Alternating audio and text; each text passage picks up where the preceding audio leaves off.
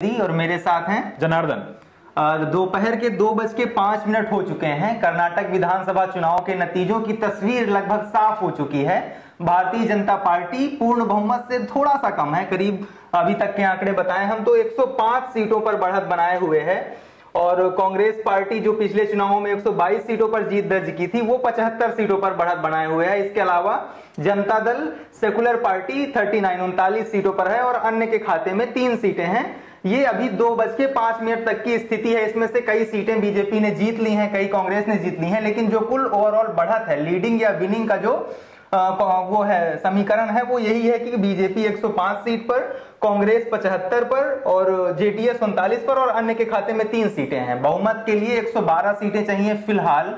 और बहुमत का आंकड़ा भी थोड़ा दूर है बीजेपी से, लेकिन अभी अगले आधे घंटे के बाद तस्वीर और स्पष्ट हो जाएगी। भारतीय जनता पार्टी के नेताओं ने जश्न मनाना शुरू कर दिया है। कार्यकर्ताओं में भी उत्साह है और सभी पार्टी कार्यालयों पे रंग और पटाखे ऐसे फूटना शुरू हो गए हैं। अब ये वक्त है जब आपको देखना चाहिए कि क्या कारण थे कि भारतीय जनता पार्टी ने दक्षिण के उस राज्य में जहाँ पिछली बार वो 40 सीटों पर महज सिमट गई थी, इस बार क्या कारण रहे कि वो 100 से ज़्यादा सीटें लेके आई और सरकार बनाने की स्थिति में पहुँच रही है? कर्नाटक चुनाव के ठीक पहले सिद्धरमैया सरकार ने ढेर सारे दांव पे चले थे, उसमें से एक दांव था लिंगायतों को धार्मिक अल्पसंख्यक का दर्जा देने का भी। लेकिन नरेंद्र मोदी ने जब कर्नाटक अभियान शुरू किया उनके 10 दिनों में उन्होंने 21-22 से ज़्यादा रैलियाँ की और नमो ऐप के ज़रिए लाखों कार्यकर्ताओं को संबोधित किया। उसने सारे कांग्रेस के जो समीकरण थे उसको ध्वस्त कर दिए। इसके अलावा और क्या कारण आप देखते हैं कर्नाटक विधानसभा चुनाव में बीजेपी की जीत के? पहला कारण तो यही बड़ा साफ़ है कि बीजेपी और उनके प्रधानमंत्री नरेंद्र नरेंद्र मोदी हमारे प्रधानमंत्री उन्होंने जनता को कर्नाटक की जनता को यह विश्वास दिलाया कि उनकी जो अ, चुनावी रणनीतियाँ हैं या उसके बाद जो उनके मैनिफेस्टो हैं या वे जो योजनाएँ लेकर के आएँगे भविष्य में, वो कर्नाटक की जनता के लिए प्रभावशाली होंगी और उनके लिए फ़ायदेमंद होंगी। तो जो प्राथमिक कारण है, वो ये है कि बीजेपी ने कर्नाटक में मतदाताओं को विश्वास दिलाया कि वो आगामी सरकार के लिए सबसे बेहतर उम्मीद सबसे बेहतर पार्टी है। प्रधानमंत्री नरेंद्र मोदी कई बार रैलियों से इस बात का बखान करते रहे थे कि केंद्र सरकार बहुत सारी कल्याणकारी योजनाएँ चला रही हैं, जिसमें फ़सल बीमा योजना या महिलाओं के लिए ढेर सारी योजनाएँ हैं। उस पर सिद्धरमैया की सरकार है, वो रोड़ा बन रही है। अगर प्रदेश में भी उनकी सरकार आती है तो केंद्र की योजनाएँ सीधे तौर पर, प्राथमिक तौर पर वहाँ पर प्राइमरी लेवल पे लागू कर दी जाएँगी।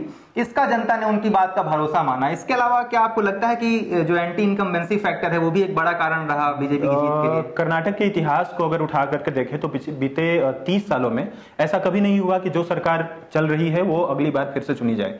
तो कर्नाटक के मिजाज में, कर्नाटक के जनता के मिजाज में एक जो है धारणा है कि जो सरकार पाँच साल काम कर चुकी है और जो उनके पैमाने थे अगर उस पर खरी नहीं उतरी है तो वो दोबारा दूसरी सरकार को चुनती है। तो इस बार भी ये फैक्टर काम किया और इस बार भी जो है एंटी कम्बेंसी वैसे ही काम की जैसे तीस सालों से काम करती रही है। इसमें नयापन नहीं है लेकिन एक बात है कि उस रिवाज को कायम रखना भी अपने आप में एक बात है। तो कर्नाटक का कर्नाटक की जनता ने एक बार फिर से वो करके बिल्कुल। बीजेपी के बड़े नेता हैं राम माधव। चुनाव के जब नतीजे साफ़ होने लगे तो उन्होंने बयान दिया कि आरएसएस का बहुत बड़ा रोल रहा उसके कैडर का बहुत बड़ा रोल रहा हमारी जीत के पीछे।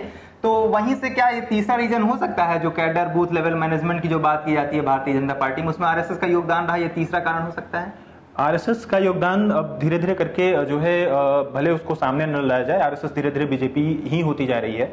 असल में हो ये रहा है कि खुद अमित शाह इस बात को मानते हैं कि उनके पास अपनी टुकड़ियाँ हैं, उनके पास अपनी टोलियाँ हैं, जो चुनाव के ठीक पहले, आठ महीने, सात महीने पहले, वो जाती हैं उन क्षेत्रों में, लोगों से बातचीत करती हैं और वहाँ से चीज़ें लेकर के आती हैं। और इस बार की आदित्य बात करें, इस बार चुनाव की तो करीब दस लाख पार्टी कार्यकर्ता कांग्रेस में फैले हुए थे। कांग्रेस के करीब 224 सांसद जो हैं, वो अपने अपने क्षेत्रों में वहाँ के जो 224 सीटें हैं वहाँ पे लगे हुए थे। इसके नीचे जाते हैं तो बूथ मैनेजमेंट लेवल पर बहुत जो है हर बूथ पे एक एक उनके बूथ मैनेजर लगे हुए थे। उसके नीचे जो है पन्ना प्रमुख लगाए गए थे उनके नीचे अर्थ पन्ना प्रमुख लगाए गए थे। तो कांग्रेस में अ, अर्थ पन्ना प्रमुख के मायने ये है कि करीब हर पचास आदमी पर एक आदमी लगाया गया था कि वो उसके बारे में पूछे और उससे बात करे जाने की क्या जो है वजह है आप किसको वोट करना चाहते हैं और जिसे वोट करना चाहते हैं उसे क्यों वोट करना चाहते हैं। फिर वो अपने पक्ष में माहौल बनाने की कोशिश करता है करीब डेढ़ महीने दो महीने के बीच। तो एक तरीके के वोटिंग के टाइम पर जो होते हैं, जिस तरह की रैली पीएम मोदी करते हैं, फिर अगले दिन एक आदमी जाता है, आपका फॉलोअप लेता है।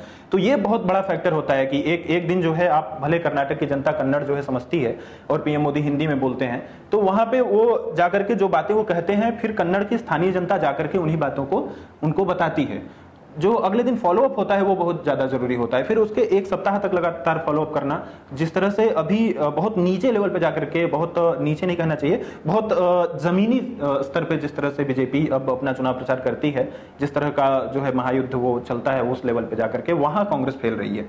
तो बीजेपी ने जो जीत हासिल की है, उसमें बहुत बड़ा योगदान, उसके स्थानीय कार्यकर्ताओं और जो लोगों से जुड़ करके एक एक आदमी का दरवाज़ा खटखटाने एक एक परिवार का दरवाज़ा खटखटाने की जो जीत है, वो सबसे बड़ी जीत है यहाँ पे। ये चुनाव प्रचार का जो पैटर्न रहा है नरेंद्र मोदी जब से गए एक मई, दो मई से उन्होंने शुरुआत की थी, जब से गए उसके बाद से लगातार केंद्रीय मंत्रियों का पूरा जमावड़ा दिग्गज नेता, यूपी के मुख्यमंत्री, मध्य प्रदेश के मुख्यमंत्री बड़े बड़े नेता वहाँ पर डटे रहे और उन्होंने खूब चुनाव प्रचार किया। इसको कितना बड़ा कारण मानते हैं बीजेपी की जीत के लिए? जबकि राहुल गांधी भी डटे थे, दो महीने वहाँ पर डटे थे और उनके भी ढेर सारे स्टार प्रचारक गए थे और हाँ। कैसे बीजेपी का चुनाव प्रचार अलग रहा जो उसको सफलता दिलाने में ज़्यादा सहायक सिद्ध हुआ ये ये ये जो बहुत करीब और बहुत ज़रूरी सवाल है आदित्य इस पे क्या है कि कर्नाटक में जो बीजेपी का वोट वोट शेयर है वो करीब 36 फ़ीसदी है और जो कांग्रेस का वोट शेयर है वो सैंतीस दशमलव नौ या करीब अड़तीस है।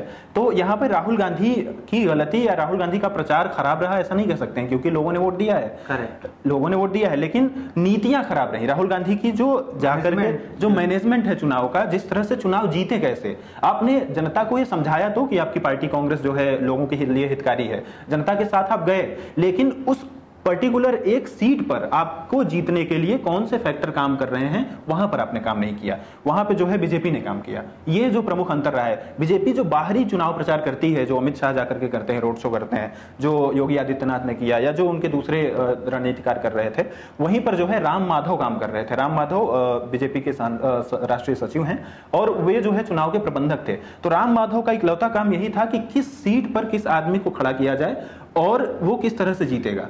जो सीट पर आदमी खड़ा हो रहा है उसके जीत के लिए क्या योगदान है? नरेंद्र मोदी जो है चुनाव में रैली कर रहे हैं वहाँ पे हज़ारों लाखों लोग जुट रहे हैं वो लोग कितना किसको वोट देंगे वो एक तरीके की बात हुई। लेकिन कि एक पर्टिकुलर जो सीट है वहाँ के जो दो लाख ढाई लाख जो आ, आ, जो औसत कर्नाटक में मतदाताओं की संख्या है वो करीब ढाई लाख से तीन लाख है।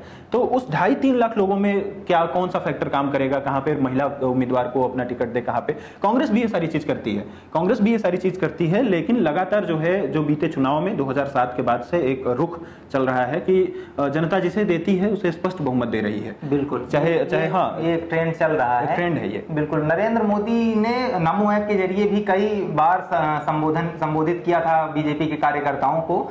महिला मोर्चा के कार्यकर्ताओं को संबोधित करते हुए उन्होंने कहा था कि अगर आप बूथ जीत जाते हैं तो आपको प्रदेश में सरकार बनाने से कोई नहीं जीत सकता। और उन्होंने ज़िम्मेदारी दी थी महिला मोर्चा के कार्यकर्ताओं को कि आप बूथ लेवल पर लोगों को ले जाइए प्रेरित करिए कि वो जाके भारतीय जनता पार्टी को वोट दें तो बूथ लेवल अगर आप बूथ जीत जाते हैं तो फिर आप विधानसभा जीतेंगे विधानसभा जीतेंगे तो ज़ाहिर सी बात है आपके प्रदेश में सरकार होगी इसके अलावा जोड़ तोड़ की भी राजनीति की गई। बीजेपी ने बहुत सारे कैंडिडेट को तोड़ के आलम यह था कि शिकारीपुरा से बी एस येदुरप्पा मुख्यमंत्री के जो दावेदार थे बीजेपी की तरफ़ से उनके खिलाफ खड़ा करने को कोई मज़बूत प्रत्याशी नहीं था प्रत्याशी नहीं था। ये जो है बीजेपी का एक ट्रेंड है। बीजेपी जब से आई है सत्ता में बीते दिनों से उसमें उसमें अमित शाह ने जो है प्राथमिक उनका काम माना जाता है अमित शाह का कि वे दूसरी पार्टियों के उन नेताओं को जो अपनी पार्टी से नाखुश हैं या अपनी पार्टी के जो है पक्ष में नहीं है महत्वाकांक्षी महत्वाकांक्षी हैं। है, उनको अपनी तरफ़ खींच लेते हैं। तो ये चीज़ जो है कर्नाटक में भी काम की और लगातार जो है कांग्रेस के जो है कुछ एक नेता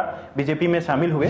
बी एस येदुरप्पा के पास खड़े करने के लिए कांग्रेस के पास कोई मज़बूत दावेदार नहीं था कोई ऐसा प्रत्याशी नहीं था जबकि दूसरी ओर बात करें तो सिद्धरमैया के खिलाफ खड़े करने के लिए बीजेपी के पास श्री रामलू थे। वे बादामी में सीट लड़े थे वे बादामी में चुनाव लड़े और बादामी में उन्होंने सिद्धरमैया को ज़बरदस्त टक्कर दी। सिद्धरमैया केवल दो या तीन हज़ार वोटों से आगे चल रहे हैं वो हालाँकि जीत के तरफ़ है। सिद्धरमैया एक सीट बचाते में हार गए। और चामुंडेश्वरी में हार गए हैं। तो चामुंडेश्वरी में उन्हें हारने का कारण बीजेपी नहीं रही। तो यहाँ पर भी बीजेपी ने बड़े अच्छे से काम किया कि उन्होंने जहाँ मौका देखा कि जहाँ पे जेडीएस मज़बूत है जहाँ पर जेडीएस का गढ़ है जो दक्षिणी कर्नाटका का क्षेत्र है मैसूर का क्षेत्र है तो वहाँ पे बीजेपी ने उतना दम नहीं लगाया। ऐसा जो है, अभी लगातार बातें हो रही हैं कि बीजेपी ने वहाँ दम नहीं लगाया। तो जो चामुंडेश्वरी सीट पे हारने का कारण वो जीटी देवगौड़ा है, जीटी देवगौड़ा। जेडीएस के जो है स्थानीय अच्छे नेता हैं, वे पिछली बार भी चुनाव में जीतने में कामयाब रहे थे, इस बार उन्होंने चामुंडेश्वरी सीट पर सिद्धरमैया को हराया।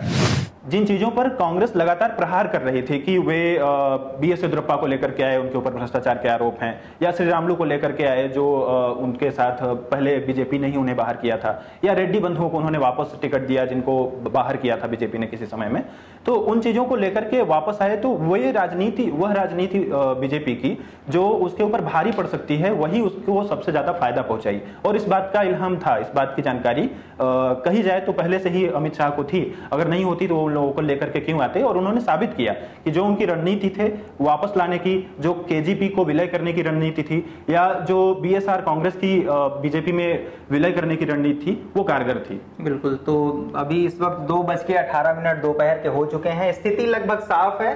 एक बार फाइनल टैली हम आपको बता देते हैं। भारतीय जनता पार्टी 105 सीटों पर आगे चल रही 36 सीटों पर जीत चुकी है और उनहत्तर सीटों पर आगे चल रही है। बहुजन समाज पार्टी एक सीट पर आगे चल रही है। कांग्रेस पार्टी नौ सीटें जीत चुकी है छियासठ सीटों पर आगे है कुल मिलाकर पचहत्तर सीटों पर सीटों पर उसकी बढ़त बनी हुई है। जनता दल सेकुलर चार सीटें जीत चुकी है 35 सीटों पर आगे है और कुल मिलाकर उनतालीस सीटों पर उसकी बढ़त बनी हुई है। इसके अलावा केपी जेपी पार्टी जो है एक सीट जीत चुकी है और एक ही सीट पर उसकी कुल मिलाकर बढ़त और एक निर्दलीय प्रत्याशी आगे बढ़त बनाए हुए है। कुल मिलाकर 50 सीटों के परिणाम आ चुके हैं। और एक सौ बहत्तर पे बढ़ा था और कुल 222 सीटों के रुझान सामने आ चुके हैं। अगर वोट शेयर की बात करें तो जनार्दन, किसको सबसे ज़्यादा वोट शेयर मिल रहा है? सबसे ज़्यादा वोट शेयर आईएनसी को है, कांग्रेस को है। सैंतीस दशमलव नौ फ़ीसदी वोट कांग्रेस को मिले हैं, लेकिन उनके पास सीटें जो है अभी चौहत्तर ही आ रही हैं। और इसके बाद बीजेपी का नंबर है, छत्तीस दशमलव पाँच फ़ीसदी वोट उनके पास है। जनता दल सेकुलर को अठारह दशमलव एक फ़ीसदी वोट मिल रहे हैं। और जो निर्दलीय उम्मीदवार हैं, उनके खाते में तीन दशमलव नौ फ़ीसदी वोट जाते हुए दिखाई दे रहे हैं। बीएसपी के लिए अच्छी बात है कि दशमलव तीन ज़ीरो दशमलव तीन फ़ीसदी वोट पाने के बाद भी उनका एक उम्मीदवार आगे चल रहा है। इसी तरीके से केपी जेपी जो पार्टी है वो दशमलव दो फ़ीसदी माफ़ कीजिएगा ज़ीरो दशमलव दो फ़ीसदी वोट पाने के बाद भी एक सीट पर आगे चल रही है। दिलचस्प है कि कांग्रेस के वोट शेयर बीजेपी से ज़्यादा है लेकिन सीटें उसकी लगभग आधी हो चुकी हैं।